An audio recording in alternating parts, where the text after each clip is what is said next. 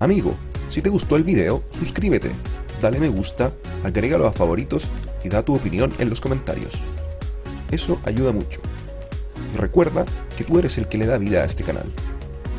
No olvides visitar también las redes sociales y canales amigos linkeados en la descripción.